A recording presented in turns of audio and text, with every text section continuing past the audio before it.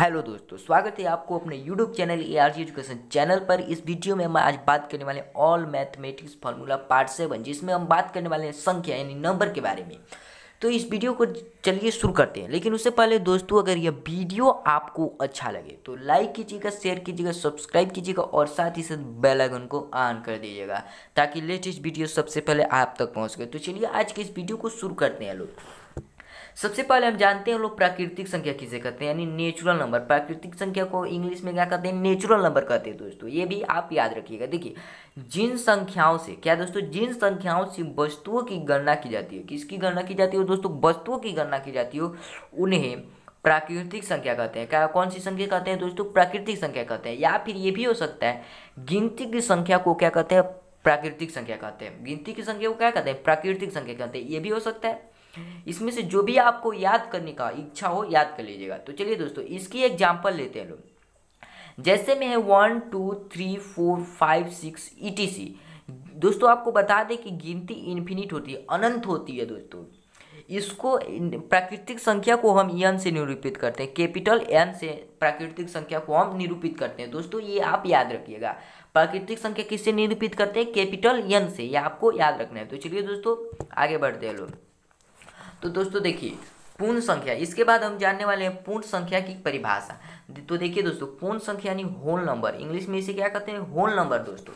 तो चलिए इसकी परिभाषा के बारे में जानते हैं लोग। देखिए, प्राकृतिक संख्या प्राकृतिक संख्या के समुचय में, क्या है दोस्तों? प्राकृतिक संख्या के समुचय में शून्य को सम्मिलित करने से संख्याओं का जो समुचय बनता है, उसे पूर्ण संख्या कहते हैं। क्या कहते हैं दोस्तों? पूर्ण संख्या कहते हैं। जब हम प्राकृतिक संख्या के समुचय में शून्य को सम्मिलित कर लेते हैं तो जो समुचय प्राप्त होता है, उसे हम क्या कहते हैं दोस्तों? पूर्ण संख्या कहते हैं तो होल नंबर कहते हैं दोस्तों। क्या कहते हैं? पूर्ण संख्या था होल नंबर जैसे कि हमारा प्राकृतिक संख्या क्या था? वन टू थ्री फोर यही ना था दोस्तों?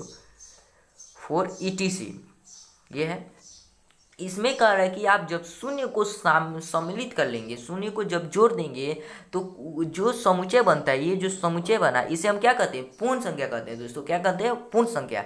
जिसे हम कैपिटल डब्लू से निरूपित करते हैं तो होल नंबर को कैसे निरूपित करते हैं, कैपिटल डब्लू से निरूपित करते हैं। तो चलिए आगे बढ़ते हैं। लोग नेक्स्ट क्या है दोस्तों? नेक्स्ट है पूर्णांक, जिसे इंग्लिश में इंटीजर कहते हैं। क्या दोस्तों? इंटीजर तो चलिए आगे बढ़ते हैं। लोग देखिए दोस्तों, पूर्णांक संख्या यानी इंटीजर नंबर तो चलिए दोस्तों, जब पूर्ण संख्याओं को घनात्मक तथा ऋणात्मक चिन्हों के साथ दर्शाया जाता है तो इनसे बने समुचय को पूर्णांक कहते हैं। क्या कहते हैं दोस्तों? कह रहा है कि जब पूर्ण संख्याओं में, जैसे कि पूर्ण संख्या हमारे क्या है? One two three four five सुने भी है दोस्तों एक पूर्ण संख्या। शून्य, one, two, three, four, five. जब इसमें हम धनात्मक तथा ऋणात्मक चिन्ह को साथ चिन्ह के साथ दर्शाते हैं तो क्या कहलाता है? इंटीजर कहलाता है, पूर्णांक कहलाता है। जैसे कि मान लीजिए minus one minus two minus three minus four minus five ये क्या क्या कहलाएगा दोस्तों? इंटीजर कहलाएगा। क्या कहलाएगा दोस्तों? इंटीजर। ये आपको याद रखना है। इसको हम इसको हम कैपिटल आई से दर्शाते हैं। किसे दोस्तों? कैपिटल आई से। किसे दोस्तों? कैपिटल आई से। ये आपको याद रखना है। तो चलिए दोस्तों, आगे बढ़ते हैं। इसके एग्ज़ाम्पल देखते हैं देखिए दोस्तों, जैसे कि माइनस पाँच माइनस चार माइनस तीन माइनस दो माइनस वन शून्य plus one plus two plus three plus four plus five इसके आगे चिन्ह नहीं है, लेकिन क्या है? प्लस है दोस्तों। ठीक है दोस्तों? ये आपको याद रखना है ई टी सी अब जानते हैं कि गिनती इन्फिनिट होती है, इधर भी आपका इन्फिनिट होगा और इधर भी आपका क्या होगा? इन्फिनिट होगा दोस्तों। ये आपको याद रखना है।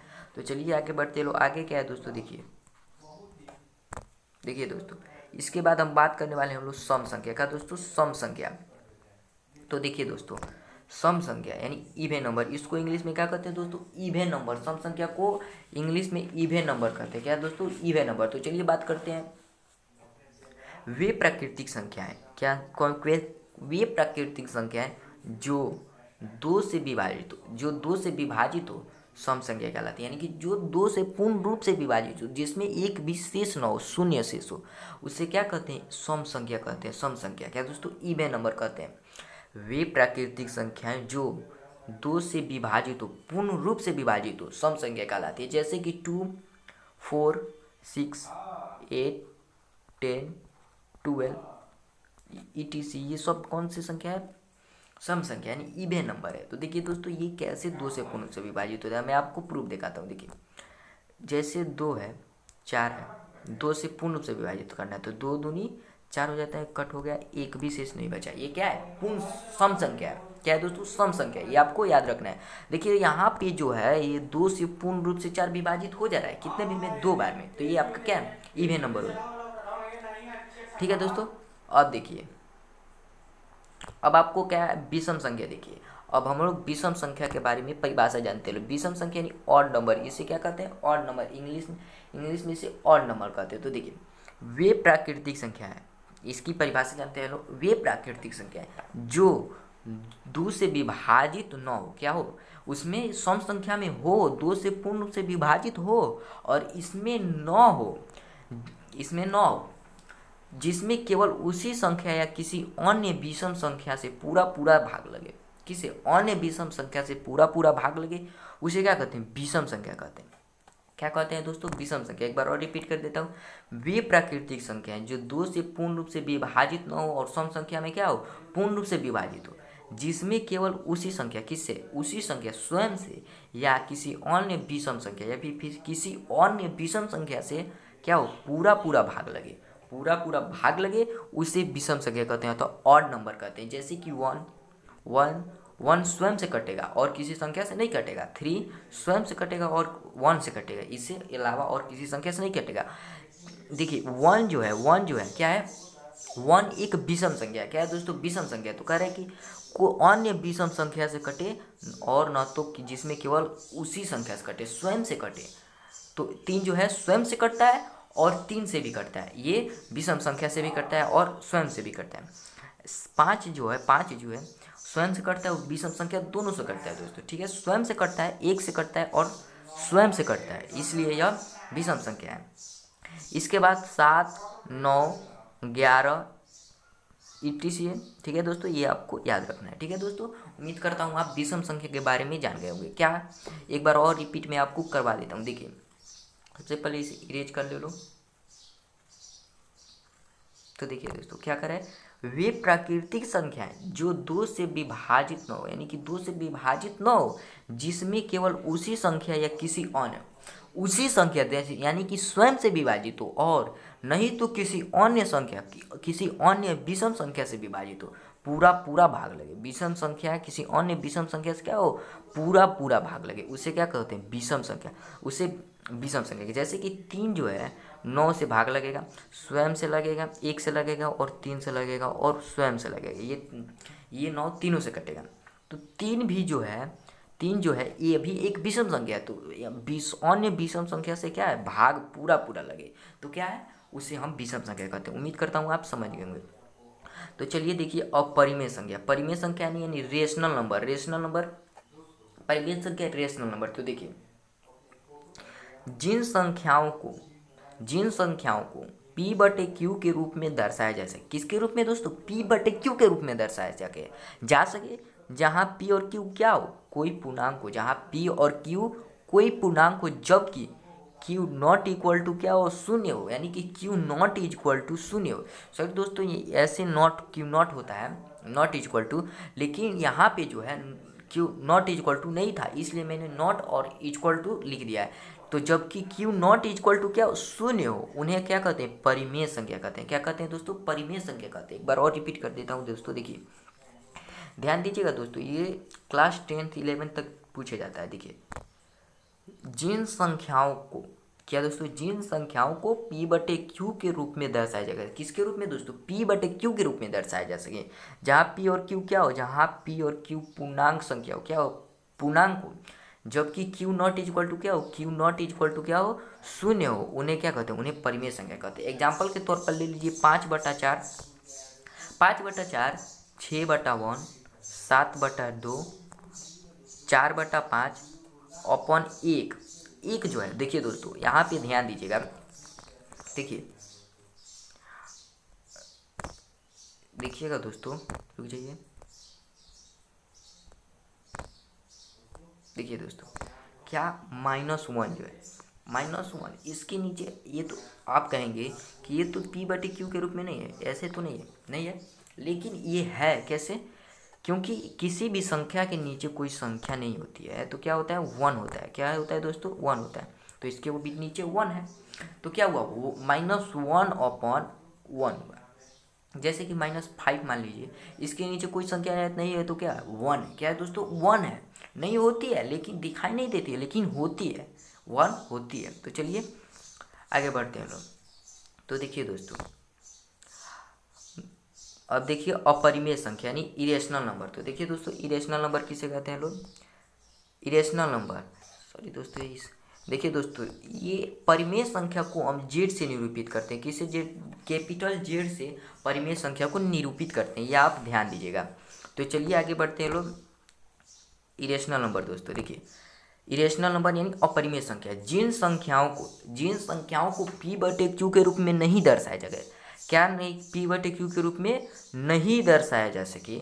जहाँ पी और क्यू क्या हो? पूर्णांक हो। लेकिन क्यू नॉट इक्वल टू शून्य हो, उन्हें क्या कहते हैं? अपरिमेय संख्या कहते हैं। क्या कहते हैं दोस्तों? अपरिमेय संख्या कहते हैं। आगे वाले क्वेश्चन में था कि पी बटे क्यू के रूप में दर्शाया जा सके और यहाँ पे पी बटे क्यू के रूप में नहीं दर्शाया जा सके। उसे हम क्या कहते हैं? अपरिमेय संख्या कहते हैं। जहाँ पी और क्यू क्या हो? कोई पूर्णांक हो और जबकि क्यू नॉट इक्वल टू क्या हो? शून्य हो। उन्हें अपरिमेय संख्या कहते हैं। जैसे कि रूट टू रूट टू को हम पी बटे क्यू के रूप में नहीं लिख सकते हैं। इस, इसको अब जब तोड़ेंगे तो दशमलव में इसका आंसर आएगा। जैसे कि रूट थ्री भी है रूट फाइव भी है रूट फाइव ये पाई नहीं होगा दोस्तों। ठीक है दोस्तों, ये आपको याद रखना है। परिमेय संख्या किसको कहते हैं? जिन संख्याओं को पी बटे क्यू के रूप में नहीं लिखा दर्शाया जा सके, क्या नहीं दर्शाया जा सके? पी बटे क्यू के रूप में नहीं दर्शाया जा सके, जहाँ पी और क्यू क्या हो? पी और क्यू कोई पूर्णांक हो। पी और क्यू कोई पूर्णांक हो जबकि q not is equal to शून्य हो, उन्हें क्या कहते हैं? अपरिमेय संख्या कहते हैं। क्या कहते हैं दोस्तों? अपरिमेय संख्या कहते हैं। तो चलिए आगे बढ़ते हैं। आगे क्या है दोस्तों? देखिए। अब देख, देखिए दोस्तों, भाज्य संख्या और अभाज्य संख्या। यानी कॉम्पोजिट नंबर अतः प्राइम नंबर कॉम्पोजिट और प्राइम नंबर के बारे में जानकारी प्राप्त करते हैं। देखिए भाज्य संख्या तो कॉम्पोजिट नंबर भाज्य संख्या होता है कॉम्पोजिट नंबर तो चलिए कॉम्पोजिट नंबर के बारे में कॉम्पोजिट नंबर किसे कहते हैं, उसके बारे में परिभाषा जानते हैं लोग। तो देखिए तो ध्यान दीजिएगा दोस्तों, एक से बड़ी वे सभी संख्या किससे बड़ी? एक से बड़ी वे सभी संख्या जिनमें अपने और एक के अतिरिक्त। किसके अतिरिक्त? अपने और एक के अतिरिक्त। कम से कम एक और संख्या से भाग लगे। किसे एक और संख्या से भाग लगे। उसे हम क्या कहते हैं? भाज्य संख्या कहते हैं? क्या कहते हैं दोस्तों? भाज्य संख्या कहते हैं? एक बार और ध्यान दीजिएगा दोस्तों, ये परिभाषा आपको याद करना है। मैं ऐसे ही नहीं बता रहा हूँ आपको, देखिए। एक से बड़ी वे सभी संख्या एक से बड़ी वे सभी संख्या जिनमें अपने और एक के अतिरिक्त। किसके? अपने और एक के अतिरिक्त। कम से कम एक और संख्या से भाग लगे किससे? एक और संख्या से भाग लग सके? उसे हम भाज्य संख्या कहते हैं। जैसे कि चार, देखिए चार, देखिए। एक से तो भाग लगेगा ही। ठीक है दोस्तों? और चार से स्वयं तो स्वयं से तो लगेगा ही, लेकिन यह दो से भी भाग लगेगा। इसलिए यह संख्या क्या है? भाज्य संख्या। क्या है दोस्तों? भाज्य संख्या। ये आपको ध्यान रखना है। अब देखिए, अब अभाज्य संख्या जानते लो, ठीक है दोस्तों? अभाज्य संख्या पे ध्यान दीजिएगा लोग। देखिए, अभाज्य संख्या तो प्राइम नंबर, अभाज्य संख्या तो प्राइम नंबर। एक से बड़ी वे सभी संख्या कि किससे बड़ी? एक से बड़ी वे सभी संख्याएँ जिनमें स्वयं उसी संख्या और एक के अलावा और किसी संख्या से भाग नहीं लगे। किससे? स्वयं और एक के अलावा और किसी संख्या से भाग नहीं लगे। क्या कहलाता है? अभाज्य संख्या कहलाता है, तब प्राइम नंबर कहलाता है। क्या कहलाता है दोस्तों? प्राइम नंबर कहलाता है। जैसे कि दो। दो अपने और एक के अतिरिक्त और किसी संख्या से क्या होगा? नहीं कटेगा। इसके बाद भी तीन। तीन भी है, पाँच भी है और सात, नौ सात नहीं सात ग्यारह ई टी सी ये दोस्तों अभाज्य संख्या। अगर ये वीडियो आपको अच्छा लगा हो तो लाइक कीजिएगा शेयर कीजिएगा सब्सक्राइब कीजिएगा और साथ ही साथ बेल आइकन को ऑन कर दीजिएगा ताकि लेटेस्ट वीडियो सबसे पहले आप तक पहुँच सके। तो चलिए धन्यवाद।